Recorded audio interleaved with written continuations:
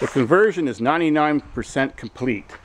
It's mostly down to just plastics now. I left that off to show you what I've been up to. There's that Volvo electric power steering pump. I wired the control wire, which is just that one there that you need, up to the ignition on position. It's your windshield washer bottle. There's enough clearance there.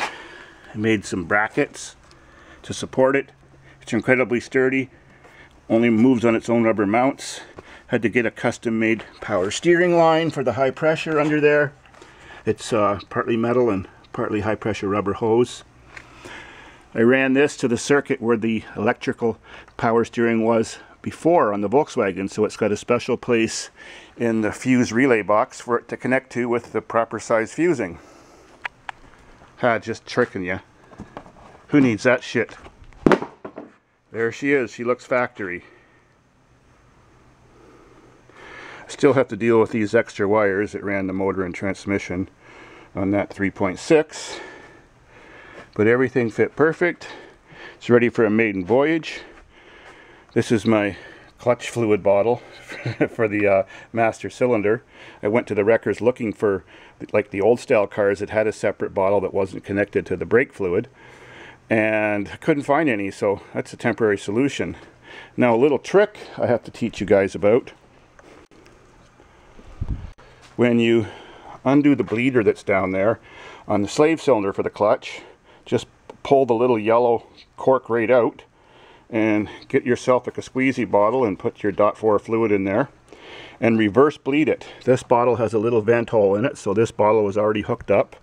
You just put that upside down and squeeze it hard and it forces the fluid up this way and that's 100% necessary to get all the air out because I showed you before that I have a little copper brass coupler in there, which is 5 16ths. And if you don't push the air out backwards, bubbles will pool in that wider line and never be able to force, force to be pushed out the bottom, the conventional way to bleed. Now in here, I have all my wires tucked away now. The two fuse boxes are up there they're tied up with some sort of heavy duty string so if I need to bring them down I just untie them and hang them down. I put this little switch here which is just going to go on the kick plate when I'm done and that's just so I can shut the power steering off or on. I don't if I'm just driving down the highway and never using major curves or anything it makes it's going to make my Volvo pump last longer. I attached the VW ignition switch and I welded it onto the steering column. At the moment it's going to be a dual key vehicle. One key to start it up and drive it, another key to make everything work inside. Later on I'll put a relay in the system so that when you turn on the Volkswagen key, the other key will be in on position all the time and the relay will just send power to the input of that key system and turn it on at the same time as you start it with the VW key. Since I mounted that there I had to modify the lower cover. Now it fits perfectly. I left it off so I can show you before I screw it back on.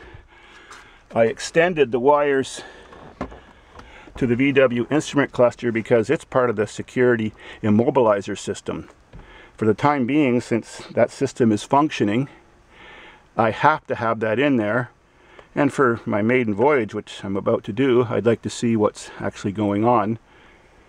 And so, anyways, I've got a passenger with me. Passenger full of information. It's in neutral. Let's uh, put a key in this thing. See what's going to happen.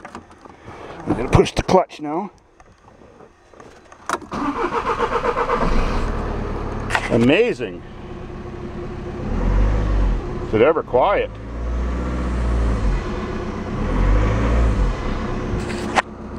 It's in neutral, I can get out. I put this key in. Everything lights up here. And I bet you the speedometer works because it reads it off the ABS system, just the way Volkswagen does. But it doesn't have the Volkswagen ABS sensors hooked up now, so that speedometer won't work.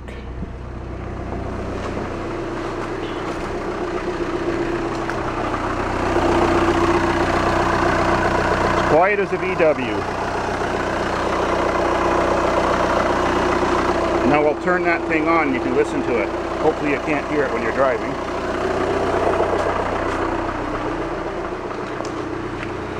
So now the steering is very tight. Let's switch this thing on. Two and a half second delay. Now the steering works very easy, just using a couple fingers. Nice power steering. And I can do this without even the car running. Just turn the key on. Just got to put plastics back together and she's done. Let's get this piece of shit out of the way for our maiden voyage. So you can only hear it when you get right up to it.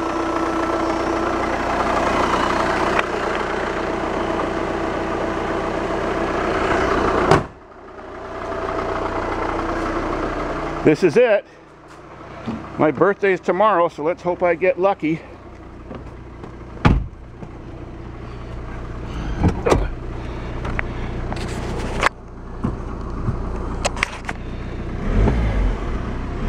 We go. It's alive! Amazing.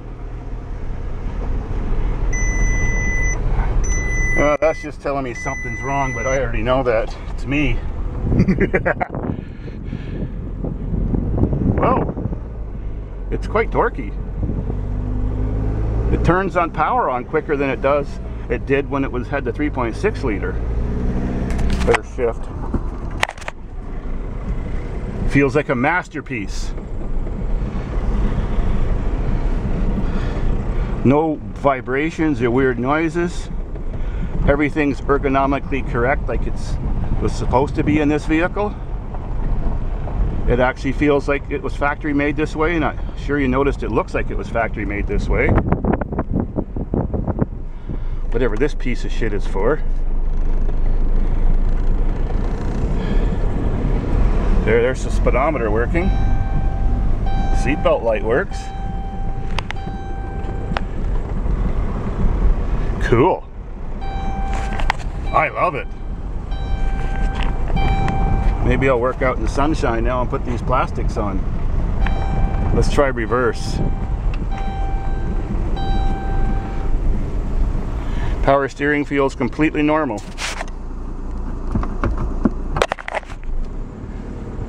Excellent. It goes in reverse too. Cool. Took longer than I expected. I love it.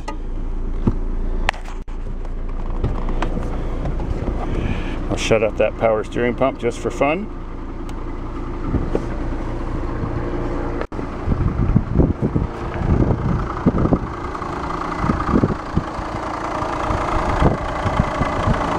I also built some air dams around the radiator, or the three radiators, or two radiators and an intercooler I mean. Uh, low pressure power steering line becomes a cooler line when it runs across there.